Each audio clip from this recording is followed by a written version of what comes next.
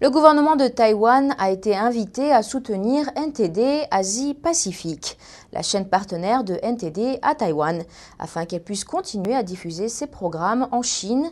Et la semaine dernière, le Premier ministre taïwanais a ordonné à Chunghwa Telecom, l'entreprise fournissant le satellite à NTD AP, de renouveler le contrat qui arrive à expiration en août de cette année.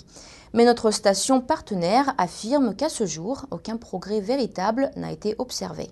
La chaîne de télévision partenaire de NTD à Taïwan, NTD Asie-Pacifique, appelle le gouvernement taïwanais à respecter ses engagements pour la liberté de presse.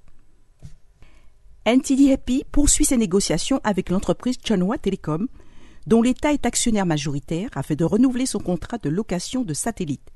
Le Premier ministre taïwanais Huan Li a ordonné Chunhua de continuer à diffuser le signal de NTD après expiration du contrat en cours en août de cette année.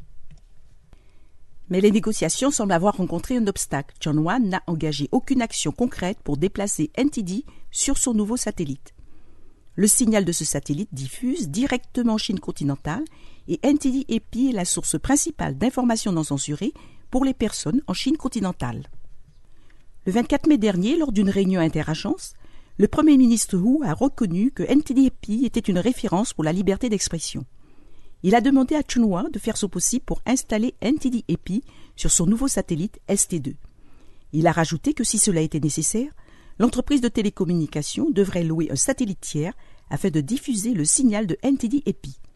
À ce jour, presque rien n'a été fait. Le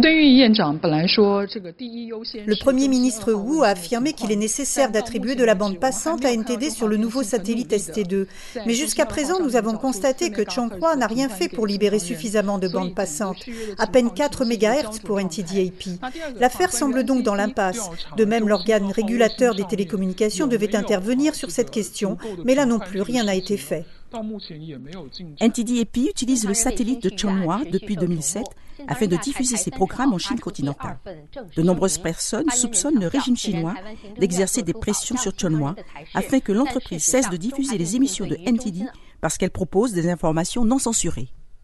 La décision de Chonghua de ne pas renouveler le contrat de NTD a attiré les critiques de Taïwan et de l'étranger.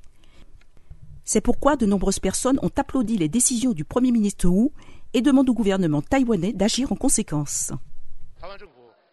Cette prise de parole de la part du gouvernement taïwanais est une étape active et je l'approuve totalement. Mais j'espère que le Premier ministre Wu mettra réellement tout cela en œuvre.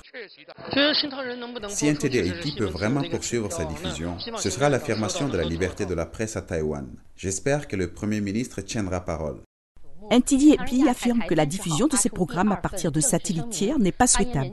La chaîne de télévision avait déjà connu des brouillages inexpliqués et craint que si elle n'est pas diffusée par le satellite dont Chanhua est propriétaire, sa diffusion soit à nouveau bloquée par le régime chinois.